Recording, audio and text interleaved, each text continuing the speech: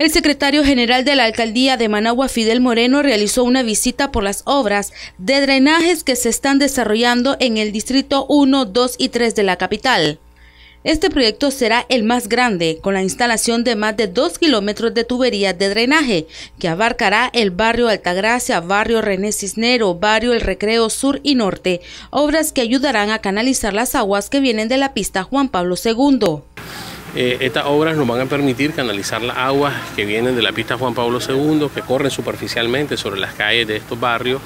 y que con el incremento de la vialidad en las 25 calles, que es una pista alterna a la pista Juan Pablo II, se podrían convertir en un problema de drenaje en la zona. Es por ello que hemos eh, decidido desarrollar previamente todas las obras de drenaje antes de la vialidad y de esta manera asegurar que las familias no sufran ninguna afectación producto de las lluvias que son constantes, como ustedes saben, en esta zona de Managua. Moreno además brindó detalles de las obras de drenaje del proyecto como es la ampliación de tubería y la construcción del puente de Cuajachillo, el que hasta la fecha tiene un avance del 89%. Que es digamos de los dos elementos más importantes. Una vez que terminemos tanto el puente como la obra eh, de drenaje vamos a poder trabajar sobre la pista en sí, sobre la ampliación de la pista, una pista de cuatro carriles que va a unir la diagonal Bataola